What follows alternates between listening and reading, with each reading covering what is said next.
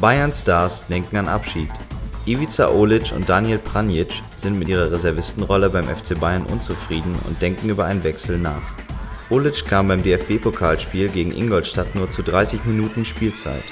Gegenüber Goal.com machte der Kroate nun seinem Frust Luft. Wenn ich sehe, dass ich auch zukünftig nicht mehr Einsatzzeit bekomme, dann muss ich mir Gedanken über einen Wechsel machen. Auch sein Landsmann Daniel Pranjic kommt bei den Münchnern kaum noch zum Zug und kokettiert mit einem Abgang.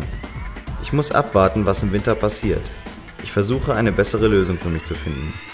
Auch eine Ausleihe zu einem anderen Bundesligisten kann sich der Kroate vorstellen. Randale bei Lautern-Sieg.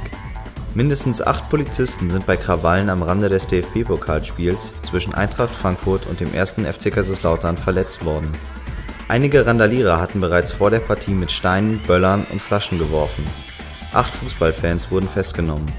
Im Gedränge am Bahnhof wurde ein Fan vor einen einfahrenden Zug gestoßen. Er kam mit schweren Verletzungen ins Krankenhaus. Corinthians buhlen um Tevez.